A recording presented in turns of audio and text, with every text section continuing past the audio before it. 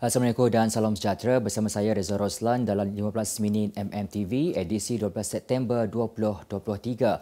Kita ke berita utama. Polis di Raja Malaysia PDRM sekali lagi akan merakam percakapan Tan Sri Muhyiddin Yassin berhubung kenyataan berbau 3R agama, bangsa dan raja berkaitan orang Melayu akan hilang kuasa ketika kempen pilihan raya kecil PRK Dewan Undangan Negeri Dun Simpang Jeram Johor.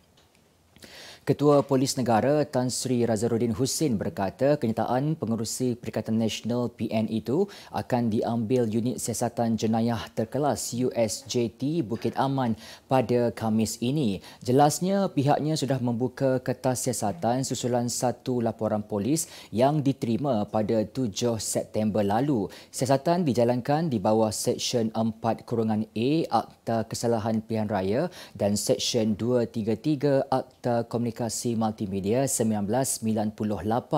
Terdahulu pada 3 September, Muhyiddin didakwa mengeluarkan kenyataan berbau perkauman dalam ceramah kempen Dun Simpan Jeram. Antara kenyataannya, Melayu pada hari ini tidak lagi menguasai kerajaan, maknanya orang Melayu sudah hilang kuasa, sedar ataupun tidak, betul ataupun tidak turut dimuat naik video ucapannya oleh Facebook Parti Islam Semalaysia PAS Pusat yang mendapat 3,100 like serta 142,000 views. Bekas Perdana Menteri Datuk Sri Najib Tun Razak dan bekas Ketua Pegawai Eksekutif 1MDB Arul Kanda Kandasamy kekal bebas daripada tuduhan membina laporan audit One Malaysia Development Berhad 1MDB bagi mengelakkan diri dikenakan tindakan undang-undang. Ia selepas Mahkamah Rayuan hari ini membatalkan dua notis rayuan pendakwaan selepas gagal memfailkan petisyen rayuan dalam tempoh yang ditetapkan. Hakim Datuk Hadariah Syed Ismail yang mengetahui panel tiga hakim Mahkamah Rayuan menyatakan berdasarkan kronologi terdapat tiga pengurusan kes dan pendakwaan telah diingatkan agar memfailkan petisyen namun telah gagal untuk mematuhi perintah mahkamah.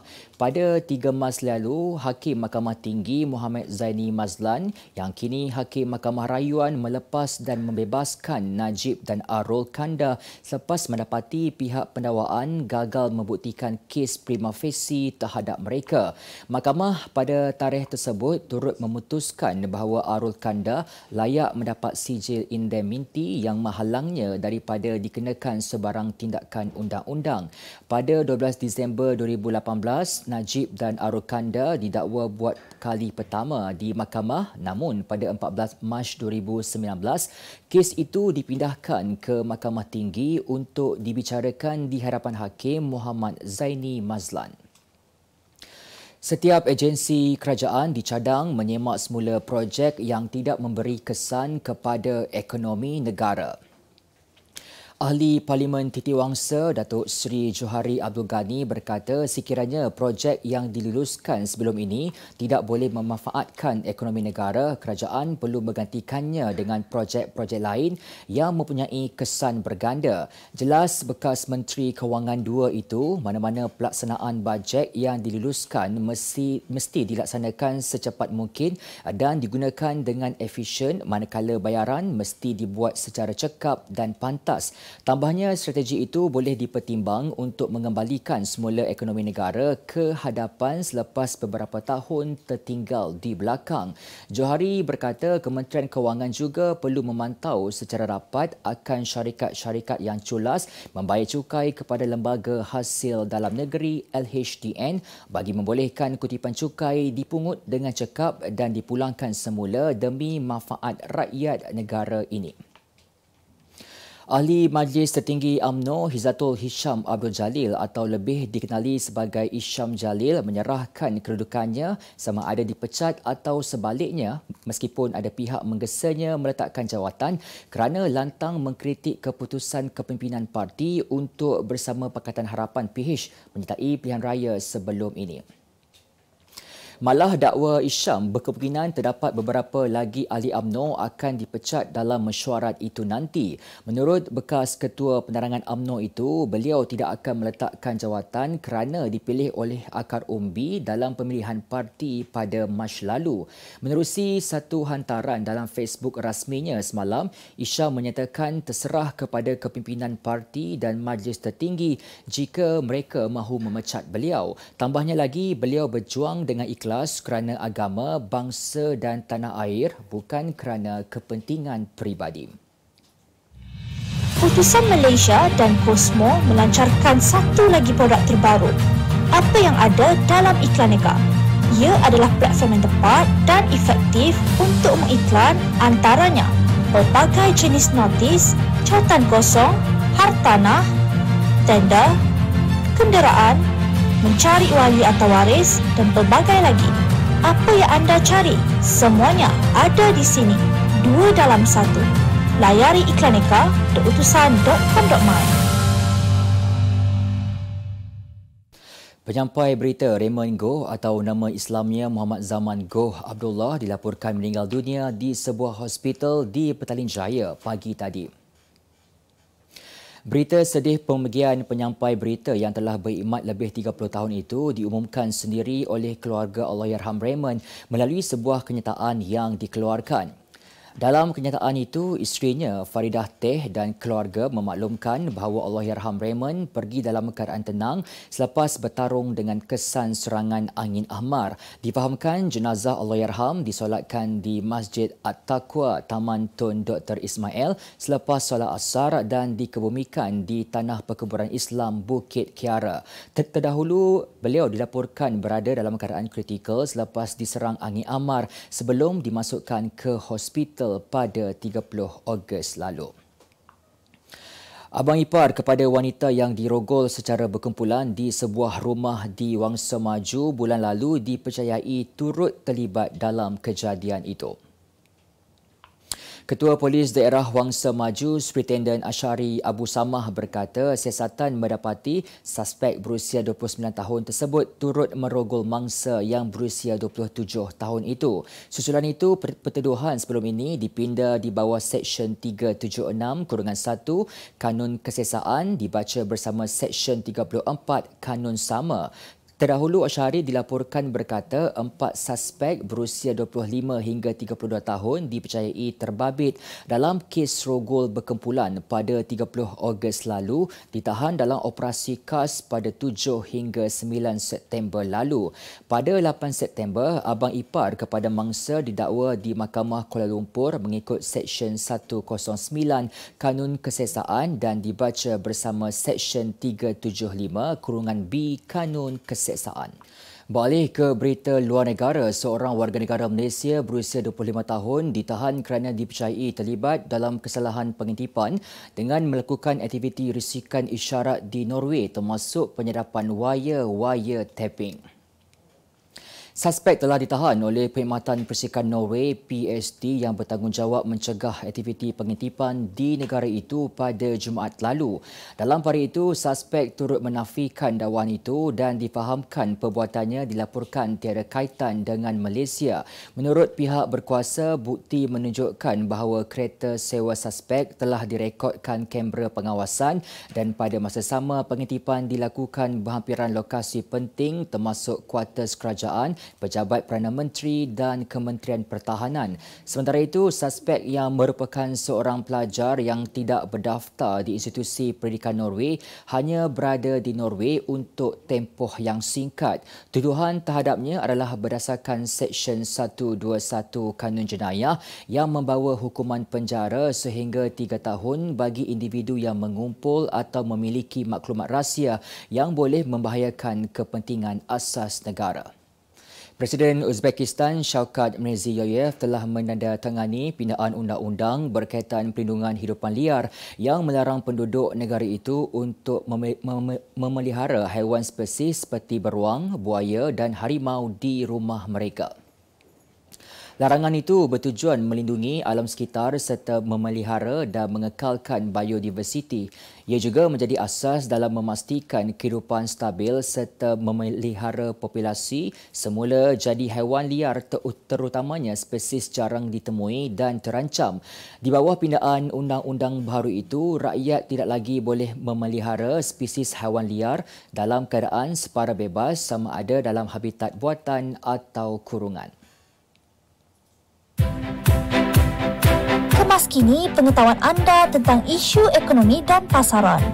Merangkumi sektor hartanah, perniagaan, keuangan, komoditi, IKS, halal niaga dan dunia korporat.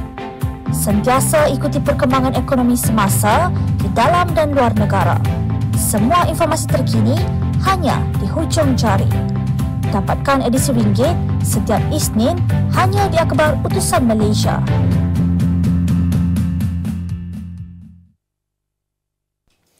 Berita ekonomi negara, Malaysia kini memiliki tiga projek yang bakal meneraju salah satu tonggak Pelan Induk Perindustrian Baharu NIMP 2023 dalam misi mencapai pelepasan sifar bersih buat masa ini.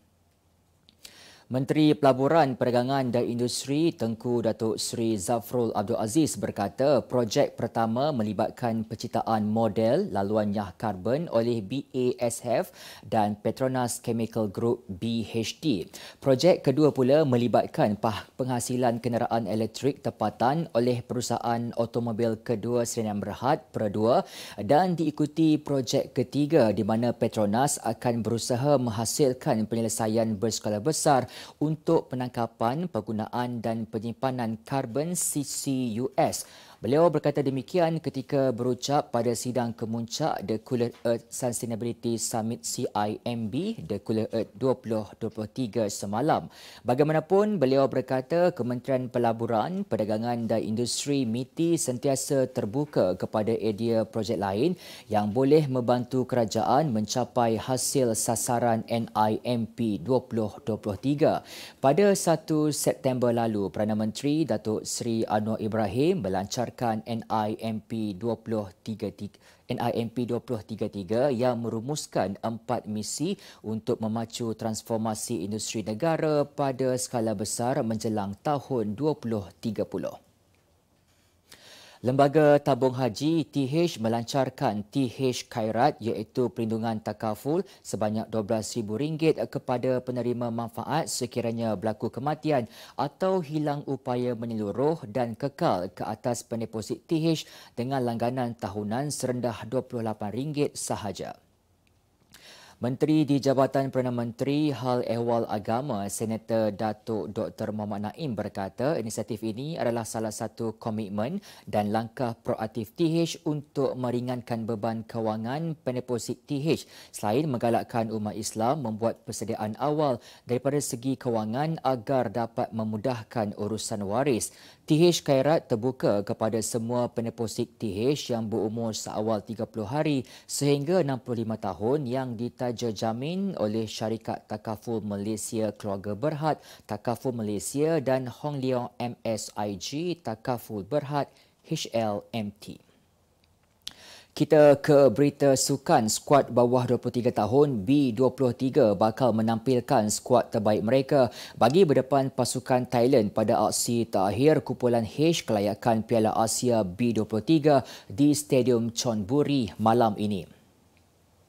Slot juara kumpulan menjadi rebutan dan kedua-dua pasukan perlu meraih kemenangan bagi memastikan mereka layak secara automatik ke Piala Asia B23 tahun hadapan. Pengurus pasukan Datuk Seri Syari Mokhtar menjelaskan pengiliran pemain dibuat dalam dua aksi pertama berdepan Bangladesh dan Filipina untuk memastikan mereka dapat tampil dengan skuad yang hebat ketika menentang skuad Gajah Perang. Untuk rekod, hanya 16 pasukan terdiri daripada 11 juara kumpulan dan 4 naib juara terbaik selain tuan rumah Qatar akan layak beraksi di Piala Asia B23 2024 yang berlangsung di Qatar tahun hadapan.